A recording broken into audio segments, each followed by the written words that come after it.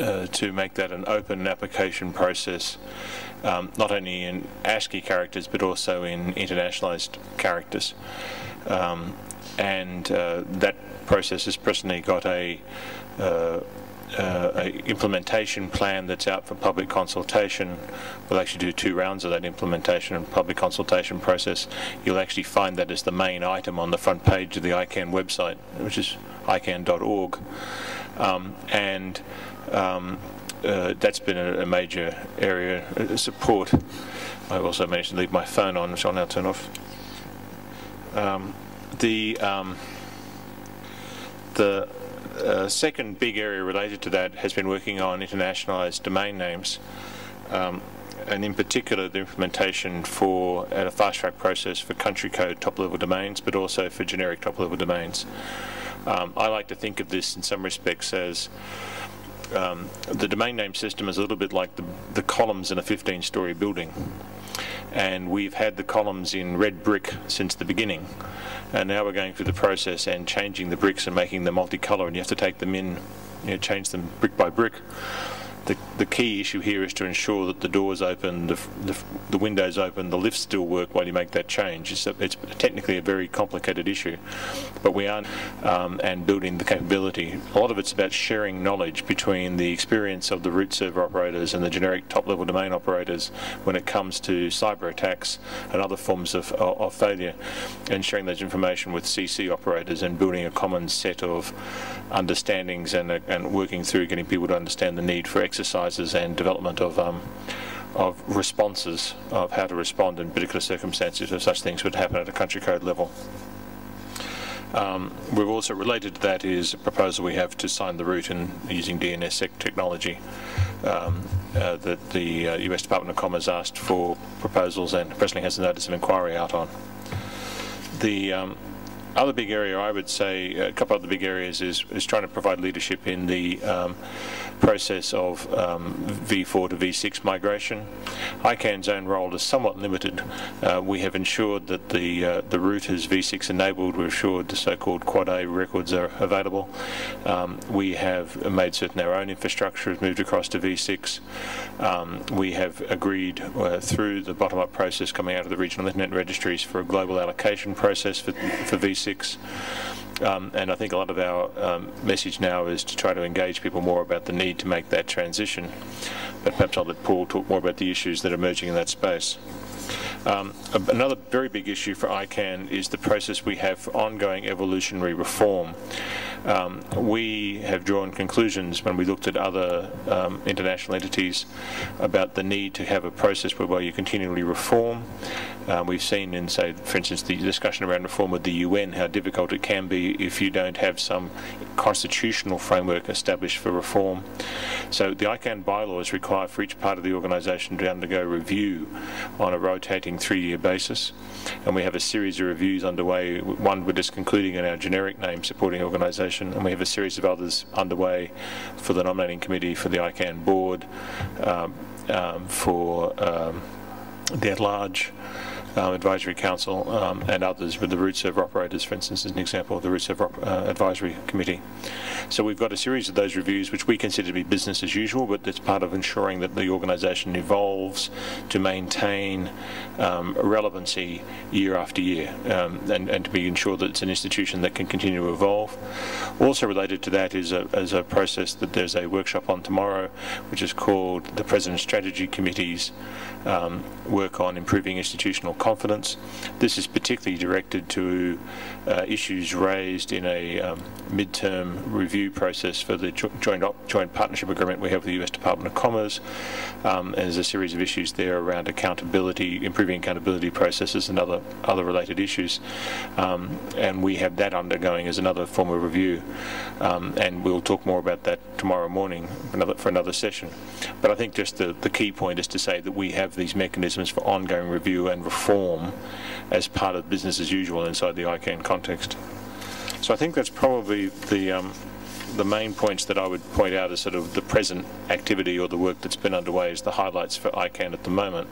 But I, I think each each each We are, uh, as the NRO representing the five RIRs, we are in uh, an agreement, an MOU with ICANN that uh, establishes the address supporting organisation of, uh, of ICANN. So within the ICANN structure, the ASO uh, plays the role which is defined by the bylaws in terms of channeling uh, resource pol uh, global policies in uh, in terms of IP resources in our case uh, through the the global policy process of ICANN. So the ASO has got uh, an address council, an elected body of experts who are uh, who play a part in that and who also uh, are available to provide feedback on addressing issues uh, referred to it by the by the ICANN board. Uh, I'll mention that, that, that, my position as chair is a rotating one, so uh, next year the chair position will be um, will be held by Axel Pawlik of the RIPE NCC in Amsterdam, who's who's here in the room, and I'll mention Axel is not Australian. Okay, um, the the current issues that we're uh, we're looking at uh, at the moment. Um, now, these are issues which are uh, very much on the minds of people who are um, au fait with and interested in addressing policy. But that uh, that group is expanding um, quite rapidly as as these issues gain gain some currency and prominence. Uh, so, for instance, over the last several years, uh, representatives of the uh, of the NRO have uh, been in consultation with the Government Advisory Committee, the GAC, um, on several occasions, uh, talking about these uh, these issues and the implications of them. the first is is the matter of, of the imminent depletion of the IPv4 address pools, and our current uh, by our current best projections, those uh, the pool of IPv4 addresses which is available from the IANA will be exhausted in around two years' time. Now that, of course, means that uh, unless uh, unless addresses can be uh, recycled, reclaimed, and recycled in other ways, then uh, then there won't be additional IPv4 addresses available to ISPs um, with which to build their their networks. Now this is no surprise to anyone. The um, the consumption of IPv4 address space has been accelerating, so the projected end date has been has been revised a couple of times. Um, and it may well be again because uh, we're talking about uh, behaviour of an industry which is um, which is completely you know beyond the control of of anyone uh, individually, and um, and they will do as they as they do in terms of requesting uh, requesting v4 address space. What um, the the issue there is very closely uh, tied with the second one, which is the uh, deployment of IPv6 on the on the internet, and of course that that also is something we've known about for for a long time, and IPv6 has been available for uh, for the best part of 10 years it's been assumed, uh, commonly assumed, that somehow the industry would uh, would just gracefully deploy IPv6 well in time for the um, the depletion of IPv4, and there wouldn't be any any period of stress or um, or worry about the uh, the source of IPv4 uh, address space.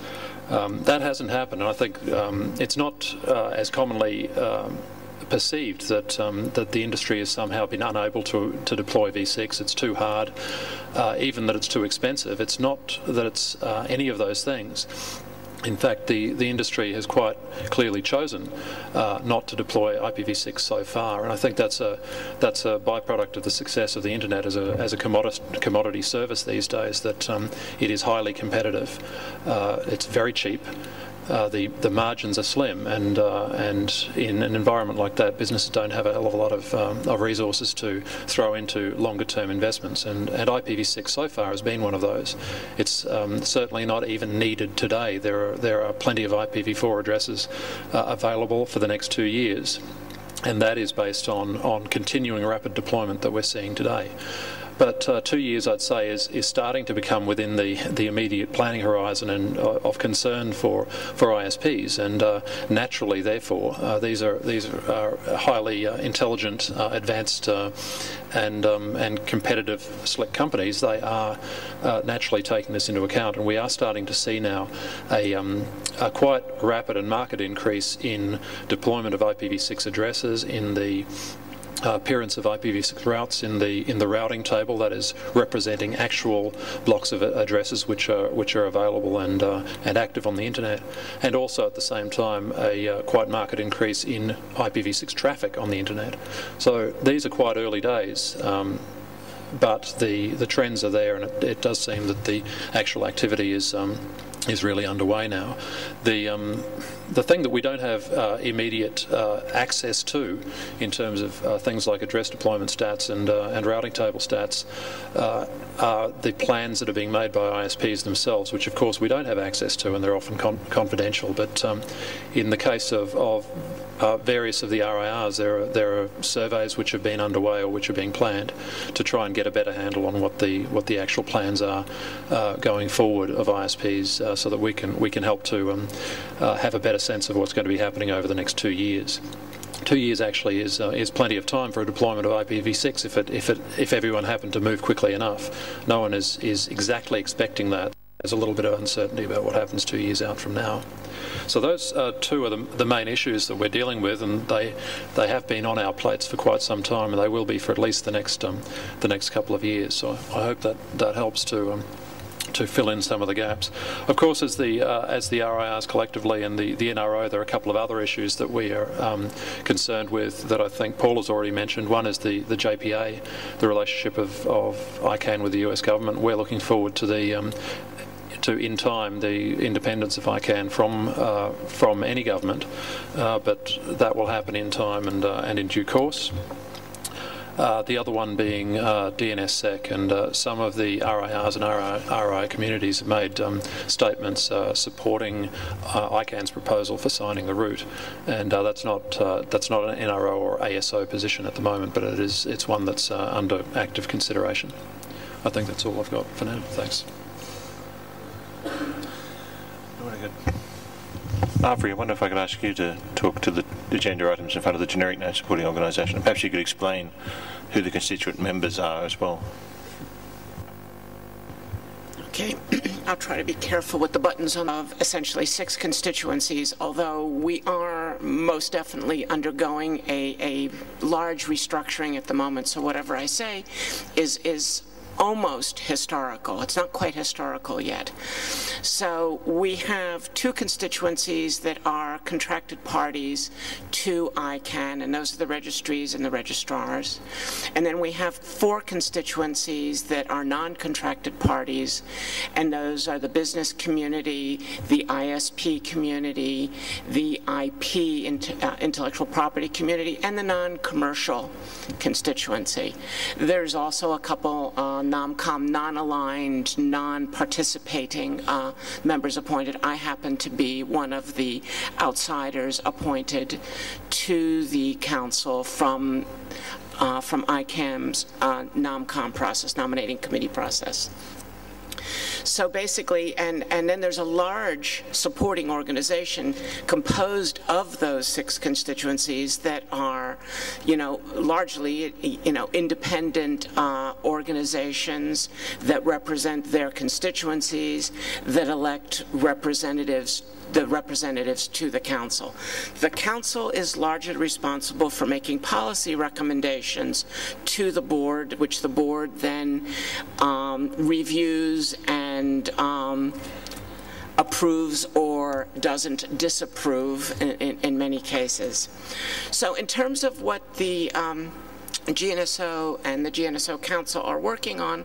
Obviously, as was said, the new GTLDs has been a concern of the GNSO and developing policy recommendations for that has been one of the, large concerns for a long time. Now that the first draft implementation um, uh, plan is out, the, the GNSO Council and many GNSO members, and in fact members of the community have been participating, are actually going through that plan, I think it's safe to say, with a fine-tooth comb. I think we've had, and, and Chuck who's implement them, now we're looking at that implementation and seeing how it, it works with the design, as it were. One of the things that we'll also be doing ongoing after this, we'll certainly be reviewing it again. One of the things that was inherent in our original implementation, I mean, our original recommendations, was that we would review how the first implementation actually worked. And so we would look at the, the first round of new GTLDs, how the implementation, how our recommendations actually worked, and then quite possibly the council, I won't be on it by then, but quite possibly the council will then figure out that there are policy recommendations that need to be made for future rounds or future, you know, um, new GTLDs. So that's one of the things we're doing. That That's a large ongoing activity. I don't think that we'll stop being concerned with new GTLDs in the near future. We're certainly also very concerned with uh, the IDNs, both new GTLDs that will be IDNs and how that will work. And, and, and one of the things that we did while developing the new GTLD um, policy recommendations was to look at all of these policy recommendations in the light of IDNs, insofar as we were able to understand IDNs at that time, and make sure that nothing we were proposing seemed to be in conflict. Um, you know, that's something that will also be ongoing.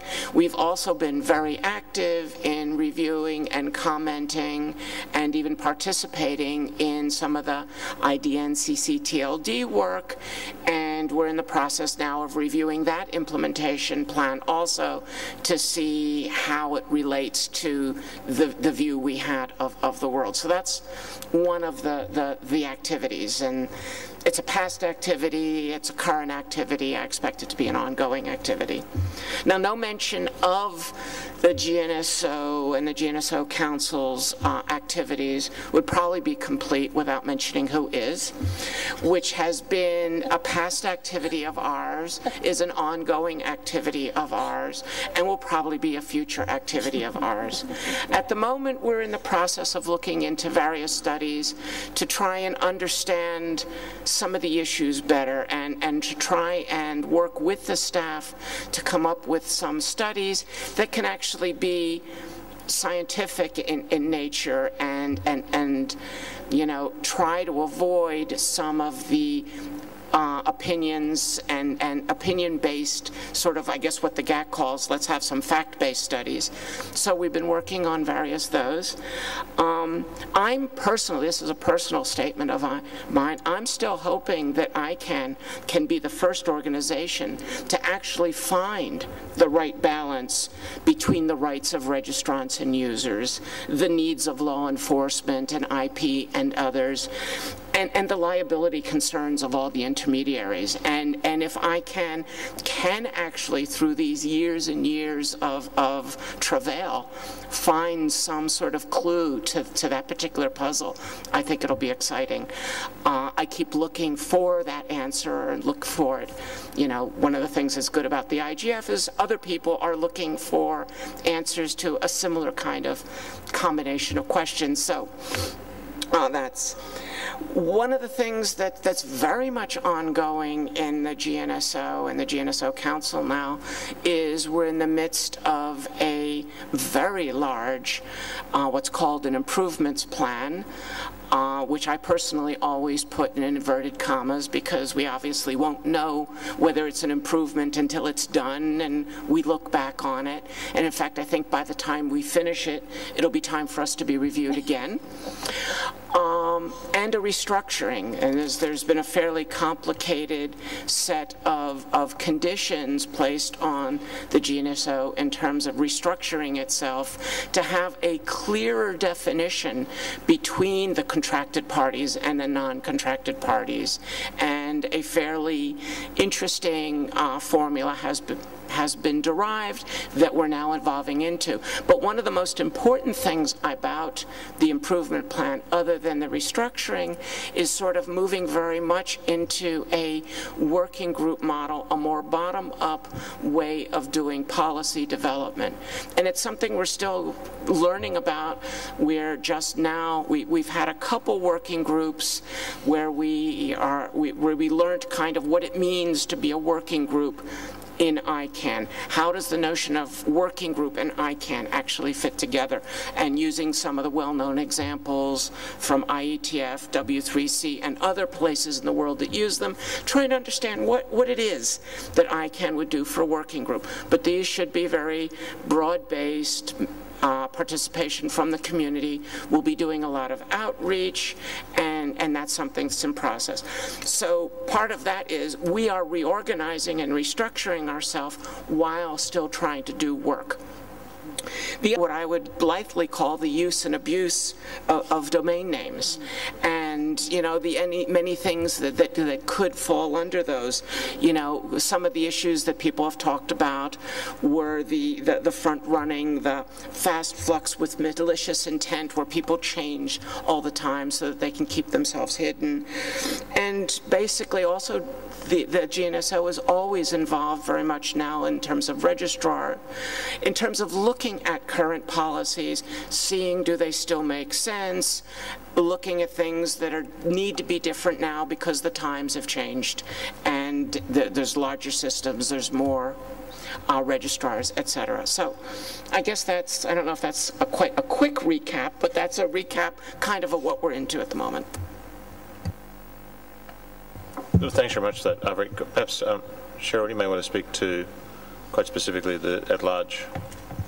Uh, geographically based regions and the at-large advisory committee is structured out of those five regions where we have a appointment or election process out of each of the regions that appoints two people to the at-large advisory committee and a third person per region comes from the nominating committee activities uh, similar to what uh, Avri has just described.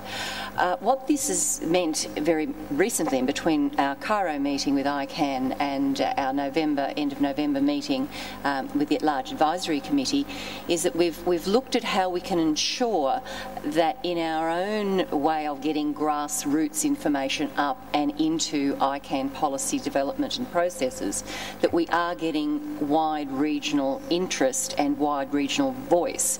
And so we've, we've actually changed some of our, um, in preparation, I suppose, with the at-large review, seeing as what's happening, um, we've prepared ourselves with a regionally diverse executive. So in the future, it'll be mandated that regardless of however many regions there are geographically, um, an executive will exist uh, which is representative of uh, each of those regions. There's a very good reason for doing that, and, and that is because we very much need to focus on the grassroots end user input into pretty much all of the hot topics that's been described so far. Uh, clearly, uh, within particularly the Asia Pacific region, um, they're quite passionate um, about the fast track of IDNs in, in the CCTLD world, and we have recently spent a great deal of time working with the other support organisations and advisory committees on a number of cross-unit working groups.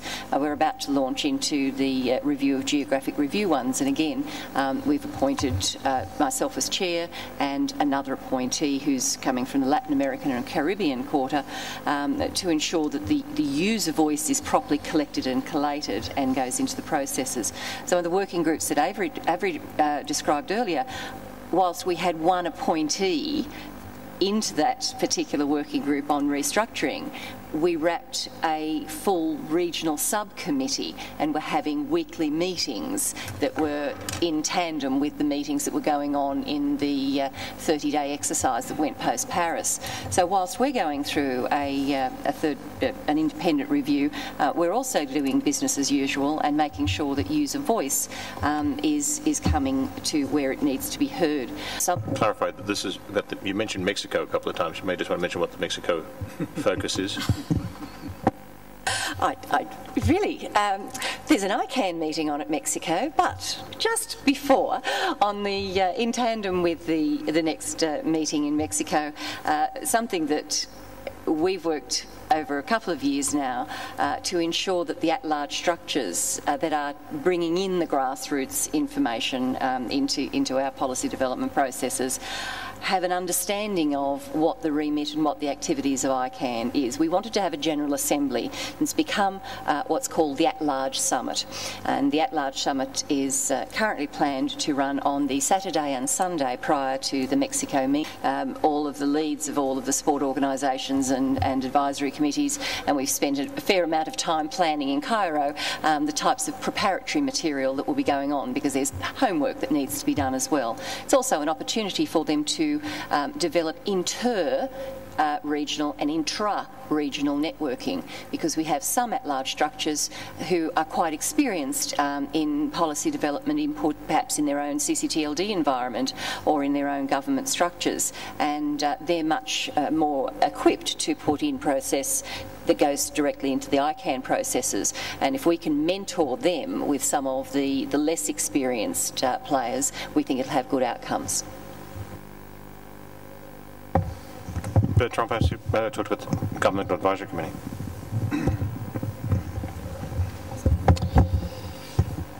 Good afternoon.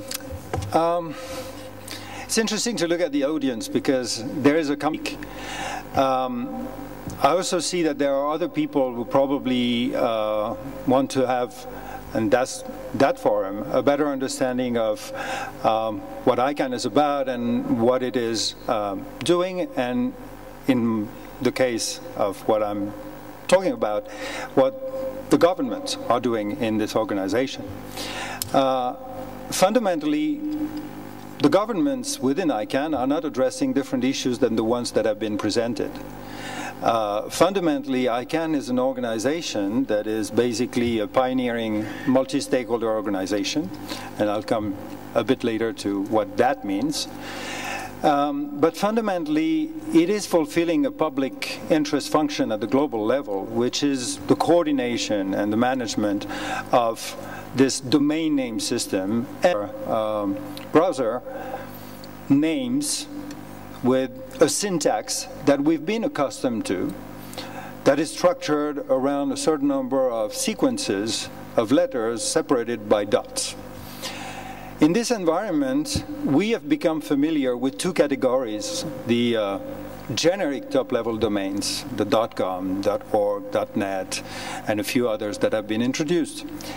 And we usually have also um, uh, quite a familiarity with the CC uh, TLDs and the uh, country code level domain. We usually know ours a few others that are famous and a lot of others that are not necessarily in the environment because we are not working with those countries. But altogether, the landscape is relatively simple. And we all have heard about the IPv4 protocol, which is basically designing the way the system underneath works. What is happening at the moment is that ICANN is in charge and is developing, as has been presented, three major transitions. One major transition is the address space, IPv4 to IPv6. Without getting into the nitty-gritty details of why there is this technical issue, the key problem is that the incentive for people to move to the new environment is neither economical nor practical, and usually there is no particular first mover advantage. If you're waiting until the others are doing what is necessary, it's relatively okay for a period of time. So everybody's waiting for everybody else, and how we can encourage everybody to work together and move towards what is called compatibility between IPv4 and IPv6 is one of the major issues. And governments, like other actors, have a role to play in the education and in defining the modalities for the optimal use and allocation of those uh, addresses. One issue, for instance, as Paul was mentioning, is that in the IPv4 space there is a scarcity growing scarcity of addresses that before were considered not unlimited, but sufficiently in large number for us not to have to bother about the allocation rules too much. When scarcity comes in, then public policy grows the more you have to address the management of a scarce resource, the more you need a collaboration between all the different actors to define the proper allocation policies. The second issue and the second transition is what has been mentioned as the new GTLDs. There have been several attempts at opening up the space, and a major decision has been taken actually in June uh, last year to fundamentally take the decision to open by principle applications for new top-level domain, for new strings. And just to make it more concrete, examples of what such new strings could be are, and this is not a limitative list, there are a few categories that are emerging as potential. Um, you have names that are linked to cities, for instance. There are several projects going on about cities. Dot Berlin was one, uh, there's Dot Paris, there are Dot NYC for New York, and others. We see that there might be a large number of cities that will be wanting a, a new TLD. There will be potentially what could be called corporate TLDs. Dot Disney, dot uh, General Motors, John, whatever, with very different uses. Some will be relatively closed, some will be relatively open. There will be various others. You can have a dot food, you can have a lot of things. There's a whole procedure that is being put in place at the moment. I don't want to get into the details, but it's just to establish the kind of, um, not challenges, but opportunities as well, that are opening up. It's a major evolution in the domain name system. It's an experiment. There will be things that will move correctly and things that will move less correctly, obviously. But it is important to be aware of that because there is a very big challenge, which is to make sure that the countries that are maybe the less advanced in the adoption of the internet and in their involvement in the internet are not missing this train and that basically there is not um, continuation of the over-presence of the existing actors uh, which of course will play a large, a large role. And I'm looking at some of the existing major actors who want to play a very active role in the, in, in the new environment, and it's absolutely fine. But there is notion of opening up, just like the IPv6, IPv4 address space question needs to allow fair and equitable allocation of resources, including for developing countries. Likewise, the new GTLD process needs to be established in a way that doesn't penalize the small players and the players for developing countries, for instance. Now, the third transition is the transition uh, regarding IDNs and the internationalized domain names. In a nutshell, domain names in Chinese, in Arabic, in Cyrillic, etc. It is one of the most important changes in the domain name systems, system sorry, since its creation. And so these three changes are bringing a lot of operational and institutional questions about how should ICANN evolve.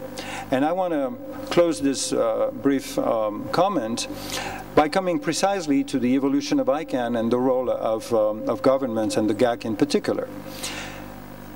There is a huge question, and we should not um, avoid this, especially in, uh, in the IGF. You've heard it, it's in the newspapers in general, there is a question about what the role of governments is uh, within ICANN, what it should be, should it be stronger, should it be weaker, what it is. Fundamentally, what came out of the WSIS was something that can be called a mutual recognition. Before you had communities that didn't talk to one another, and the outcome of WSIS was to basically have the governments recognize that in matters related to the internet, you cannot do without talking and involving the other actors, the business and civil society. And likewise during this process, even the technical community that was very reluctant of having the governments around has recognized that as the more you get into policy making, and there are policy issues involved, and not only technical ones, you need the governments around. Now the key question is, what is the appropriate role of the different actors? And you know the GAC is called the Governmental Advisory Committee. And there are many people who resent that there's this letter A that seem to diminish their responsibility. I don't think it is the problem, fundamentally, or at least it is not the first problem.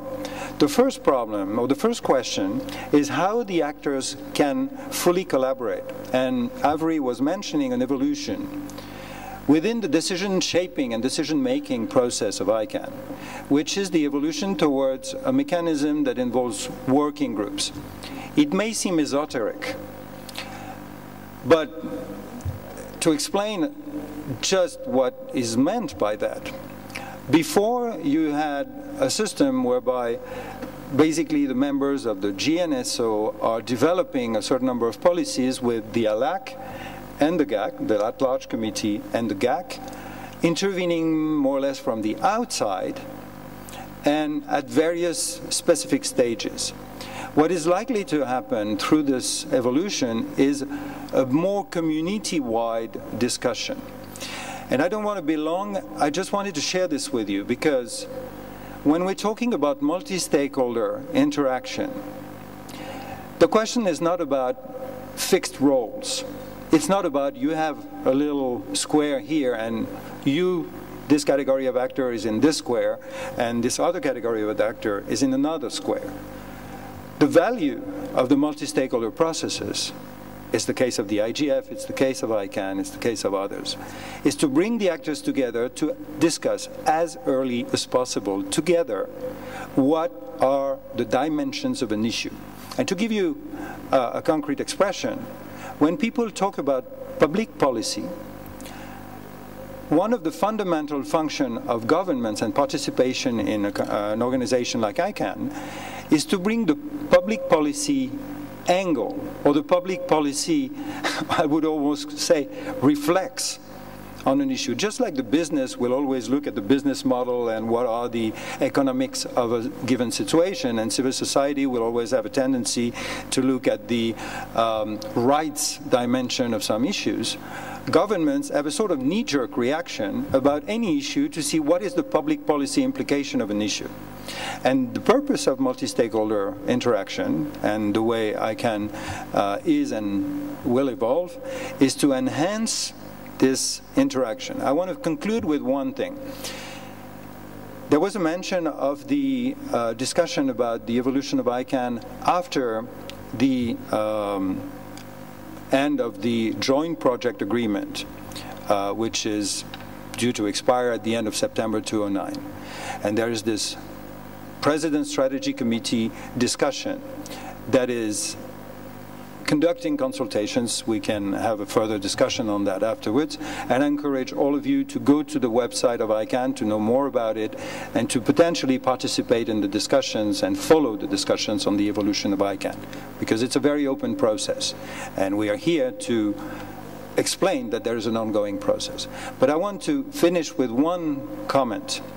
Just like I said that the WSIS provided a sort of mutual recognition, just like we need to move towards a greater interaction, what is emerging at the moment, and it is very clear, is in this organization that is ICANN, if governments were to be less present, it would weaken the legitimacy of the organization, which has in a certain way is showing to the participants in the organization that it is good to have the governments. And I think it's the everybody's interest to have the greatest participation of governments within the, the GAC, one, and second, that individual governmental representatives engage as fully as possible in every stage of the policy developments in the organization. But we can come back to that later. Thanks, Fern. Um, final person to give us some input before we go to questions will be Chris Disspain from the Country Code Name Supporting Organisation. Thank you, Paul. I get to go last.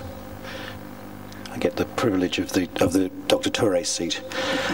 Um, the um, organisations such as the ITU, um, you don't have to be a member of the CCNSO to come and contribute uh, and to talk. So we very often um, have over 120 or 130 CCTLD manager representatives at our meetings.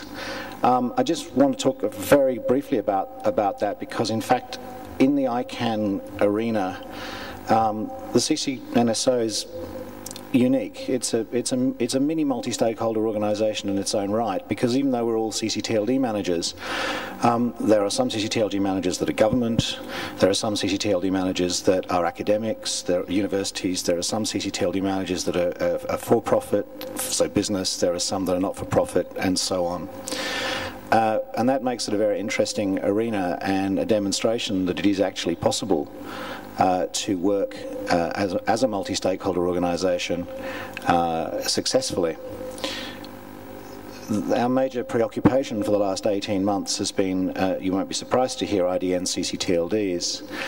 And uh, I want to pick up on what Bertrand was saying about the future for the future for ICANN uh, is about working across the uh, the supporting organisations or the advisory committees. The the recommendations of the IDN uh, Internationalized Domain Name CCTLD Working Group that have led to the publication of the current implementation plan are as a result of a cross-constituency or cross-supporting organisation an advisory committee working group that demonstrates that it is actually possible with a little bit of flexibility and a fair amount of time and a lot of goodwill to create uh, things with uh, the buy-in of every party. For us, what's coming up in the future, apart from the fact that the full-blown IDN policy development process is likely to take somewhere between two to five years, uh, is the geographic regions which are of significant relevance to the CCTLDs, given that we are obviously all in, in, in regions. Um, look, the time will come in the not too distant future with delegation and redelegation of CCTLDs. We will have to deal with that at some point. Um, and we're intimately involved in, in creating as much participation um, or as much momentum for participation as we can, both in respect to ourselves but also in respect to ICANN and indeed things like this Internet Governance Forum. Thanks, everybody. So we, we did take a chance to give you some flavour of the complexity, I think, of, of the issues being addressed. 50% of this room, about 30, 30 to 40% of this room are actually very active in ICANN. So those who are not active in ICANN will be really the key, key question.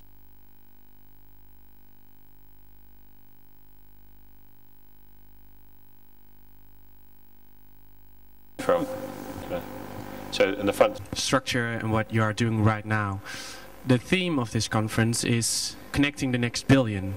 And today's theme is connecting children or reaching children safely online. My question would be to the whole panel or those who feel responsible for answering it.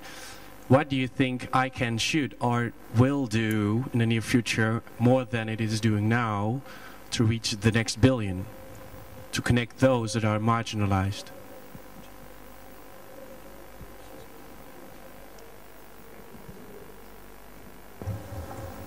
Thank you, and it's making it easier for people to uh, to access, uh, and, and, one of the ways we do that is through inter internationalized domain names, and allowing people to to type into their browser in their own in their own language, or more specifically, in a, a script that is not uh, a Latin script, um, and that is going to have a significant uh, effect um, on and, and, is going to significantly contribute to reaching um, the next number of people. The, perhaps the best example that I can give you is that uh, in um, Dubai uh, some uh, 18 months ago, I was uh, driving along to the, driving in a taxi to the hotel, and there was a huge uh, out, outdoor hoarding advertisement for some uh, property development, uh, all of which was in, uh, all of, and all of the words, of course, were in Arabic, except for the domain name at the bottom, which said www, whatever it was. Um, and being able to actually replace that with Arabic is going to make a significant difference. Perhaps I can add to that. Um, We heard Secretary Singh today, say today that the aim of the 125 million Indians speak English. Um, the rest speak 22 languages and 11 scripts. Um, so as those people enter the internet for the very first time, what is important is they have either a mobile keyboard or a computer keyboard that will only work in the script that those villages were brought up on. And that's why internationalized domain names, it's, it's not as important as the content or even potentially even email addresses, but it's a key part of when you're bringing on communities that have got no Roman character experience and, and you're bringing them on fresh field into the internet. I think that's where it's a, it's a, it's a major contribution. We had another question over here.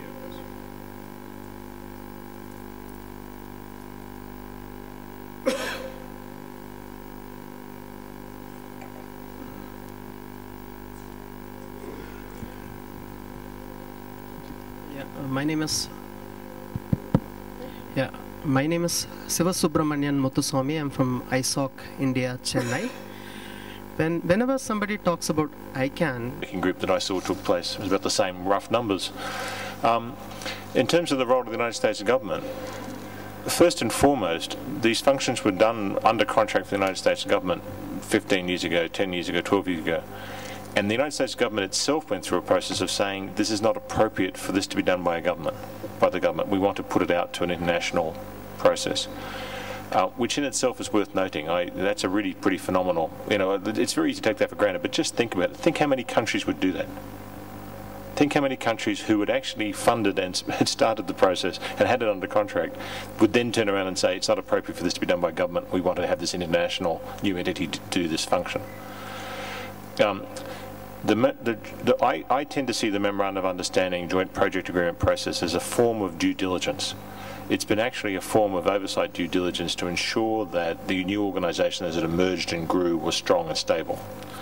And it'll be the question really as, we come to the conclusion of the Joint Project Agreement some nearly 11 years after ICANN was formed, um, that at least I think the board of ICANN thinks it's getting to that stage where you can say, well, that due diligence process is passed. That's not saying everything's perfect. There's a lot of work to be done.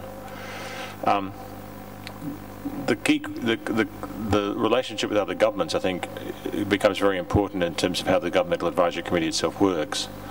Um, and I think it's also um, I don't see much support in the ICANN community for the replacement of one government's oversight with a multiple government oversight mechanism because that just, when you start thinking about how that would actually work, that's a very difficult thing to think through. You're very quickly into intergovernmental organisation, treaty type spaces, which is anathema to the whole bottom-up multi-stakeholder process. So I think it'll be interesting to see the policy of the new administration, but I don't see that evolving in any way that would be sort of maximising the number of other government roles. It's rather going to be the way of, I think, a sort of light-handed approach, a light-handed involvement, a little bit very much along the spirit of what Bertrand said earlier. Of some technical functions, some identifiers, which really doesn't get into the content area for doing much more. And that, and my point is this, an organization like the IGF is very valuable because the IGF can. And there was a question over here. And nine. But uh, would you be keen enough uh, to talk about a time frame in regard of the other treaty, in regard of the IANA function? function? Thank you. Liability issues that may well move with zone file management is uh, what's referred to as the procurement contract. It's a procurement contract for the operation of the IANA functions and, and builds historically on the on the funding contracts that went to John in opera, and John and people before John, but uh, in funding the IANA contract, uh, IANA work um, from the National Science Foundation and then also from ARPA. The, the procurement contract has a, a five-year term with one year running um, options, um, and that that that procurement contract has another. So that I think that's the the background. The, the, the, the, memorandum of understanding, joint project agreement, that's been the that's been the document which is much more directed towards actually how ICANN itself operates. Um, in the um, in terms of its in terms of its sort of doing its work, if you like. Perhaps we can move to the other question. when will this transition happen, uh, as though it might be a Y2K type of um, type of event, or an event that, uh, that, that for which there can be a flag date. But um, going back uh, 10 years ago, uh, when the internet was a fraction of the size that it is today, even then it was recognised that a flag date for transition of every component of the internet from one protocol to, a, to another was going to be an impossibility. So the transition is a process and not an event. An event. And it uh, is a process which has already started because, as I, as I mentioned, uh, IPv6 addresses have been deployed and they've been uh, uh, in distribution since 1999, in fact, nearly 10 years. IPv6 traffic is flowing on the internet as well. And in fact, it's flowing uh, to and from computers in many cases without uh, users actually being aware. There are very interesting statistics being produced now in, in case of many uh, software clients which you may be running yourself, which these days automatically up them, update themselves on the, on the internet. And so if your operating system supports IPv6, your client software may well have already updated itself via automatic means to, to utilize IPv6, and um, and so the, the traffic is starting to increase. So the, the transition is is underway, but the uh, the process is is one which for many years has IPv4 and IPv6 would uh, coexist together on the internet uh, for as long as necessary for the entire internet to uh, tra to transition to IPv6. No one is is actually expecting that at any particular time the last IPv4 packet will fl will flow and and that will be the end of IPv4. It's it's uh, likely that pockets of IPv4 uh, functionality will exist on the internet for decades, and there will be no reason why that shouldn't happen. That it won't uh, produce any any uh, disadvantage uh, to anyone. It is. Um, it's just simply the way these these uh, things operate. The, the, most efficient mechanism is, and cheapest mechanism is always taken. So uh, the, the, that's a, a, long answer. The short answer is the transition has started already. It is underway, and it really won't finish for for some decades. Uh, it needs to be uh, well underway in about two years' time when the last of the readily available IPv4 addresses are, uh, are distributed. And it needs to be uh, underway at a speed from that point onwards which will su sustain the growth of the internet at the rate that it's, uh, that it's expected to be growing at, the, at that time. I hope that helps. Thanks. Perhaps I'll just make the point, pick up on Paul just said there. Two further things to make clear. There are 340 trillion, trillion, trillion IPv6 addresses. So we're not going to run out of them shortly, um, as opposed to 4.2 billion IPv4 addresses. Uh, and the second one is that there's, there's mechanisms, global policies already in place for the allocation of V6 on a needs base for, for anybody in the, in the, in the globe. So there should be no myths about that there is any problem for allocation of V6 to any developing country or or that people can't get access to V6 or the, the, that, that, that is all in place any any any any issues presently in the transition are driven by sort of the commercial uh, commercial and other in instances that Paul mentioned before.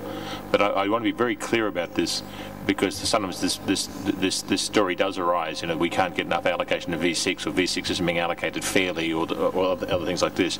There is lots of V6 available for allocation. There is no limitation on who can apply apply for that process.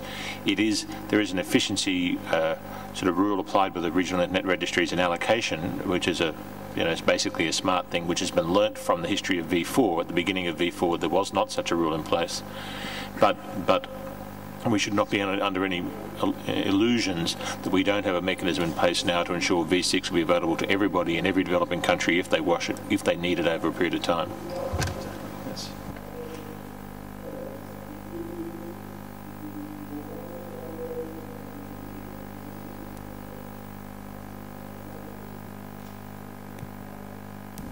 Clearly defined as technical. For example, um, the establishment, say, of a triple X domain name, um, which may not necessarily be a clearly technical issue.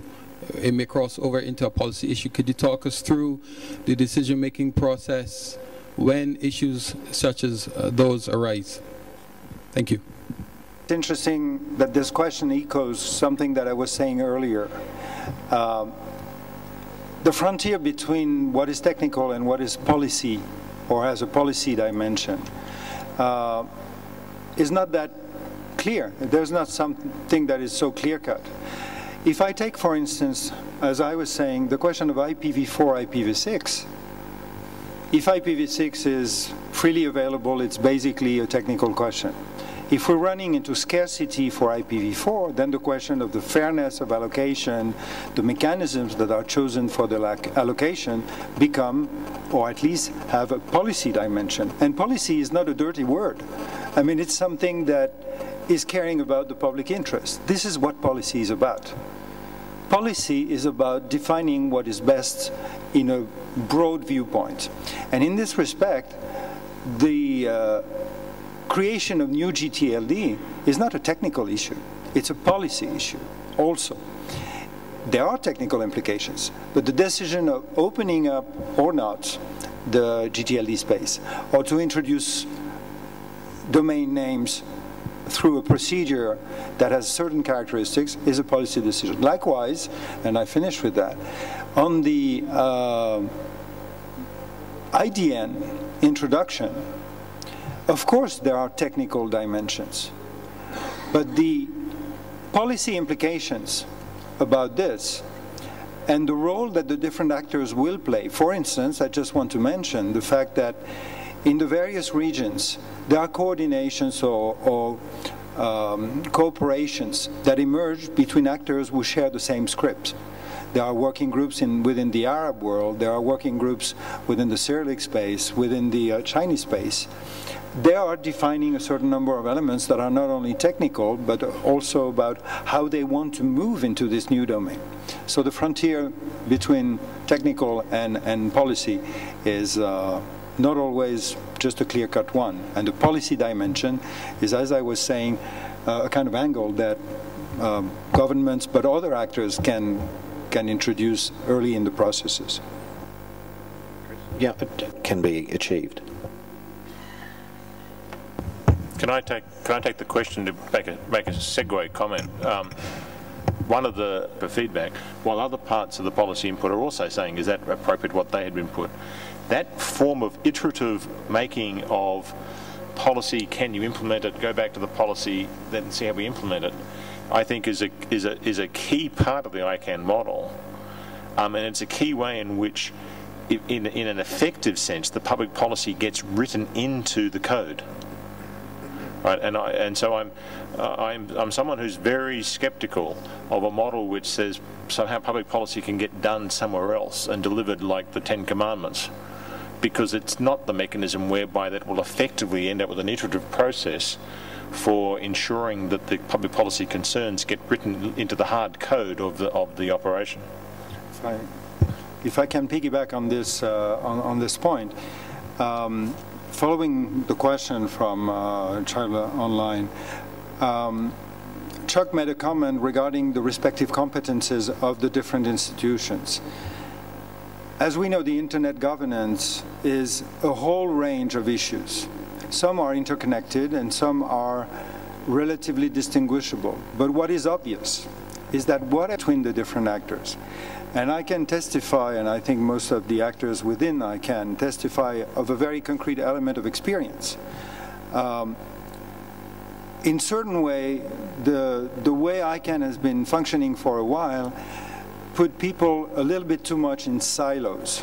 Like every group was meeting together. It was called constituencies, it could be called stakeholder groups, whatever.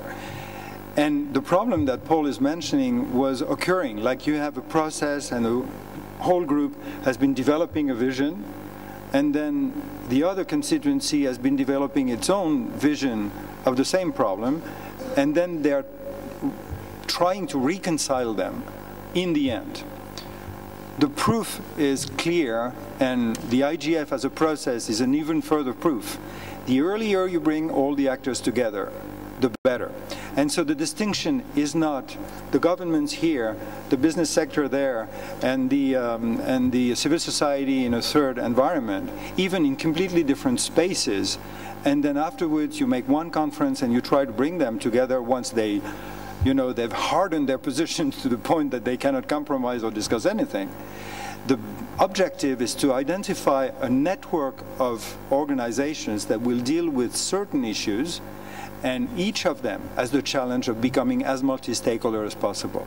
Nobody today, and I think it's very important to say, no organization today can say we are fully multi-stakeholder because each of them has to make a little evolution in the interaction. We were discussing the improvement of being more community-wide within ICANN. This means that ICANN, as many actors are saying, has a specific attention to pay, to put it diplomatically, to the way the governments are playing their role within ICANN. But governments themselves can leverage a lot of capacity to interact and have an influence. Other organizations, I mentioned for instance UNESCO, has a very strong tradition of relation with civil society actors and is certainly will benefit from developing a bit further the interaction that they have with the business sector, which is not their traditional environment and is playing a bigger role.